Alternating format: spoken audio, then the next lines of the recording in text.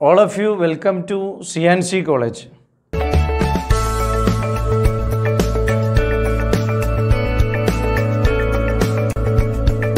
now we are discussing about tax departments ടാക്സിന്റെ ഡിപ്പാർട്ട്മെന്റുകളെ കുറിച്ചിട്ടാണ് നമ്മൾ ഡിസ്കസ് ചെയ്യുന്നത്. നമുക്കറിയാം ഇപ്പോൾ ഇന്ത്യയിൽ നിലവിൽ ടാക്സ് എന്ന് പറയുമ്പോൾ ഡയറക്റ്റ് ടാക്സും ഉണ്ട് ഇൻഡയറക്റ്റ് ടാക്സും ഉണ്ട്.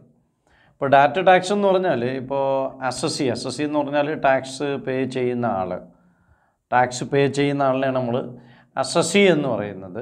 അപ്പോൾ ഈ S S C paying tax paying tax to government ഇപ്പോൾ ഇവിടെ ഗവൺമെന്റ് ഇവിടെ ഉണ്ടെന്ന് വിചാരിക്കാം ഗവൺമെന്റ് അപ്പോൾ ഈ ഒരു നൂറ് രൂപ അപ്പോൾ ഈ നൂറ് രൂപ ഗവൺമെന്റിന് കൊടുത്തു കഴിഞ്ഞാൽ ടാക്സ് ആയിട്ട് കൊടുത്തു കഴിഞ്ഞാൽ അപ്പോൾ ഡയറക്റ്റ് നേരെ കൊടുക്കുകയാണ് അപ്പോൾ ഇതിനെയാണ് നമ്മൾ ഡയറക്റ്റ് ടാക്സ് എന്ന് പറയുന്നത്. അപ്പോൾ ഇങ്ങനെ കൊടുക്കുന്നതിനെ നമ്മൾ ഡയറക്റ്റ് ടാക്സ് അല്ലെങ്കിൽ ഡി ടി എന്ന് പറയാം.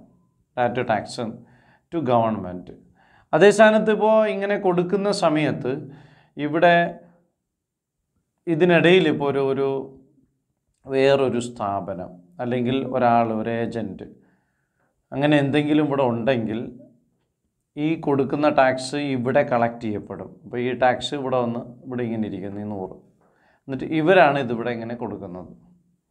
അപ്പോൾ ഇങ്ങനെ ഈ കൊടുക്കുന്നത് ഇവിടെ ചെന്നിട്ട് ഇൻഡയറക്റ്റ് ആയിട്ടാണ്. അതായത് ഇവിടെ ചെന്നിട്ട് മാത്രമേ ഇവിടെ ഈ ഗവൺമെന്റിൽ ഈ ക്യാഷ് എത്തുകയുള്ളൂ.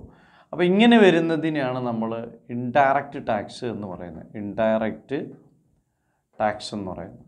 അപ്പോൾ direct without any agency or intermediary അങ്ങനെ ഇടയിൽ ആരും ഇല്ല എന്നുണ്ടെങ്കിൽ ഡയറക്റ്റ് നമ്മൾ എന്ത് ചെയ്യുന്നു? ടാക്സ് ഗവൺമെന്റിന് അടയ്ക്കുന്നു. അതിനെ ഡയറക്റ്റ് ടാക്സ് എന്നും. But there is an intermediary or an agent or a or a mediator it is called indirect tax ഇപ്പോൾ അപ്പോൾ ഡയറക്റ്റ് ടാക്സും ആൻഡ് ഇൻഡയറക്റ്റ് ടാക്സും ഉണ്ട് എന്നറിഞ്ഞിരിക്കുക. അപ്പോൾ ഡയറക്റ്റ് ടാക്സ് എന്ന് പറഞ്ഞാൽ ഇൻകം ടാക്സ് ഇപ്പോൾ അവരവർക്ക് ഇൻകം കിട്ടുമ്പോൾ അടയ്ക്കുന്ന ഇൻകം ടാക്സ് എന്ന് പറയുന്നത് ഡയറക്റ്റ് ടാക്സ് ആണ്. അതേസമയത്ത് ഇൻഡയറക്റ്റ് ടാക്സ് എന്ന് പറഞ്ഞാൽ ഇപ്പോൾ നമ്മളിപ്പോൾ സംസമിലോ അല്ലെങ്കിൽ മറ്റു ഹോട്ടലുകളിലോ ഫുഡ് കഴിച്ചിട്ടൊക്കെ ഇറങ്ങുമ്പോൾ അവിടുന്ന് ബില്ലടിച്ച് തരും. അതിനകത്ത് ജി എസ് ടി എന്ന് എഴുതി എഴുതി വയ്ക്കുന്ന നമുക്ക് കാണാൻ പറ്റും. ജി എസ് ടി എന്ന് പറഞ്ഞാൽ ഇപ്പോൾ ഇപ്പോൾ സ്റ്റേറ്റ് ജി എസ് ടി അല്ലെങ്കിൽ സെൻട്രൽ ജി എസ് ടി എന്ന് പറഞ്ഞിട്ട് രണ്ടായിട്ട് ഡിവൈഡ് ചെയ്താണ് ബില്ല് തരുന്നത്. അപ്പോൾ ആ ബില്ലിലുള്ള ജി എസ് ടി എന്ന് പറയുന്ന എമൗണ്ട് നമ്മൾ ഈ പറഞ്ഞ രീതിയിൽ ഈ ഹോട്ടലുകാർക്കാണ് ഹോട്ടൽ എക്സാമ്പിൾ ഈ ഹോട്ടലുകാർക്കാണ് കൊടുക്കുന്നത്. ഗവൺമെന്റിനല്ല നമ്മൾ ടാക്സ് അടയ്ക്കുന്നു but we are paying to the hotel or the agency അവർക്കാണ് കൊടുക്കുന്നത് അവരെന്ത് ചെയ്യുന്നു ഗവൺമെന്റിന് അത് അടച്ചോളും. അപ്പോൾ അങ്ങനെ ഇൻഡയറക്റ്റ് ആയിട്ട് അടയ്ക്കുന്ന ടാക്സ് ഇപ്പോൾ എക്സാമ്പിൾ ജി എസ് ടി എന്ന് പറയുന്നു. അപ്പോൾ ഡയറക്റ്റ് ടാക്സും ഉണ്ട്. ഇൻഡയറക്റ്റ് ടാക്സും ഉണ്ടെന്ന് ഞാൻ പറഞ്ഞു. ഇവിടെ ആ ഒരു ഡിഫറൻസ് ഇവിടെ എങ്ങനെയാണ് നമുക്ക് അറിയാൻ പറ്റും. അപ്പോൾ ഇൻകം ടാക്സ് ഒരു ഡയറക്റ്റ് ടാക്സ് ആണ്. അതേ സ്ഥാനത്ത് ജി എസ് ടി ഒരു ഇൻഡയറക്റ്റ് ടാക്സ് ആണെന്ന് അറിഞ്ഞിരിക്കുക. അപ്പോൾ ഇൻകം ടാക്സിനെ സംബന്ധിച്ചിടത്തോളം നയന്റീൻ സിക്സ്റ്റി വണ്ണിലാണ് ഇൻകം ടാക്സ് ആക്ട് വന്നത് എന്ന് നമുക്കറിയാം. അതുപോലെ തന്നെ ഇപ്പോൾ ടു തൗസൻഡ് സെവന്റീനിലാണ് ഈ പറയപ്പെട്ട ജി എസ് ടി ആക്ട് വന്നത് എന്നത് നമുക്കറിയാം. അപ്പോൾ ഇന്ത്യയിൽ ഈ ഡയറക്റ്റ് ടാക്സും ഇൻഡയറക്റ്റ് ടാക്സും നോക്കുന്നത് രണ്ട് ഡിപ്പാർട്ട്മെന്റുകളാണ് അപ്പോൾ ഡിപ്പാർട്ട്മെന്റുകൾ എന്ന് പറയുമ്പോൾ ഇപ്പോൾ നമുക്ക് ഡയറക്റ്റ് ടാക്സിന്റെ ഡയറക്റ്റ് ടാക്സിന്റെ ഡിപ്പാർട്ട്മെന്റിനെ നമുക്ക് central board of direct taxes ചേർത്താണ് എഴുതുന്നത് central board of direct taxes എന്ന് നമുക്ക് പറയാൻ സി ബി ഡി ടി എന്ന് പറയും. അതുപോലെ തന്നെ ഇപ്പോൾ ഇതിനെ നമുക്ക് പറയാൻ പറ്റുന്നതെന്ന് പറഞ്ഞാൽ central board of indirect taxes എന്ന് പറയാം. ഇൻഡയറക്റ്റ് ടാക്സസ് ഇപ്പോൾ ഇവിടെ ജി എസ് ടി അതുപോലെ കസ്റ്റംസ് ഇതെല്ലാം ഇൻഡയറക്റ്റ് ടാക്സിലാണ് വരുന്നത്. അതുപോലെ ഇൻകം ടാക്സ് പിന്നെ അതുപോലെ തന്നെ ഇപ്പോൾ ഈ കോർപ്പറേറ്റ് ടാക്സ് ഒക്കെ ഡയറക്റ്റ് ടാക്സിലാണ് വരുന്നത്. അപ്പോൾ സി ബി ഡി ടി ഉണ്ട് സി ബി ഐ ടിയും ഉണ്ട് എന്നുള്ളതാണ്. എക്സൈസ് ആൻഡ് കസ്റ്റംസ് എന്നാണ് നേരത്തെ അറിയപ്പെട്ടിരുന്നത്.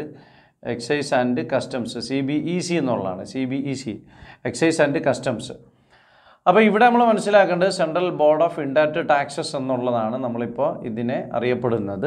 അപ്പോൾ ഇത് രണ്ടും ഇന്ത്യയുടെ ടാക്സ് ഡിപ്പാർട്ട്മെന്റ് അതായത് റവന്യൂ ഡിപ്പാർട്ട്മെന്റ് അതാരാന്ന് വെച്ചാൽ റവന്യൂ ഡിപ്പാർട്ട്മെന്റ് ഫൈനാൻസ് മിനിസ്ട്രിയുടെ കീഴിലാണ് വരുന്നത് ഫൈനാൻസ് മിനിസ്ട്രിയുടെ കീഴിലാണ്.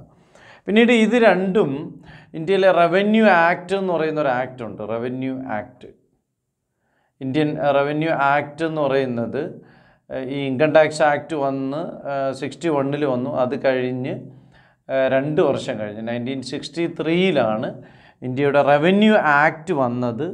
അപ്പോൾ ആ ആക്ടിന്റെ കീഴിലാണ് ഈ പറയപ്പെട്ട സി ബി ഡി ടിയും സി ബി ഐ ടിയും വർക്ക് ചെയ്യുന്നത് എന്ന് മനസ്സിലാക്കുക അപ്പോൾ ഇൻകം ടാക്സ് ആക്ട് എന്താണെന്ന് വെച്ചാൽ സിക്സ്റ്റി വൺ ആണ് അപ്പോൾ ഈ റവന്യൂ ഡിപ്പാർട്ട്മെന്റ് എന്ന് പറയുന്നത് ഈ റവന്യൂ ഡിപ്പാർട്ട്മെന്റ് എന്ന് പറയുന്നത് നമ്മുടെ ഫൈനാൻസ് മിനിസ്ട്രിയുടെ കീഴിലാണ്. അപ്പോൾ ഫൈനാൻസ് മിനിസ്ട്രിയുടെ കീഴിൽ റവന്യൂ ഡിപ്പാർട്ട്മെന്റ് അതിന്റെ കീഴിൽ central board of data taxes then central board of ഇൻഡാറ്റ taxes നേരത്തെ അത് എക്സൈസ് കസ്റ്റംസ് എന്നറിയപ്പെട്ടിരുന്നു എന്ന് പറഞ്ഞു. അപ്പോൾ ഇത് രണ്ടും വർക്ക് ചെയ്യുന്നത് ഈ പറയപ്പെട്ട central board of revenue act nineteen sixty three അനുസരിച്ചിട്ടാണ്. ഡയറ്റ് ടാക്സ് എന്ന് പറഞ്ഞാൽ income tax corporate tax. Indirect tax എന്ന് പറഞ്ഞാൽ ജി എസ് ടി അതുപോലെ തന്നെ ഇപ്പോൾ നമുക്ക് കസ്റ്റംസ് എന്നൊക്കെ പറയാം എന്ന് മനസ്സിലാക്കാം. അപ്പോൾ ഇന്ത്യയുടെ ഗവൺ ഇന്ത്യ ഗവൺമെന്റിന്റെ അല്ലെങ്കിൽ ഏതൊരു ഗവൺമെന്റിന്റെ പ്രധാനപ്പെട്ട വരുമാനങ്ങൾ അല്ലെങ്കിൽ വരുമാനം എന്ന് പറയുന്നത് ഈ ടാക്സ് ആണ് എന്ന് നമ്മൾ അറിഞ്ഞിരിക്കുക. ഇതുമായി ബന്ധപ്പെട്ട് എന്തെങ്കിലും ഡൗട്ട് ഉണ്ടെങ്കിൽ കോൺടാക്റ്റ് ചെയ്യുക. താങ്ക്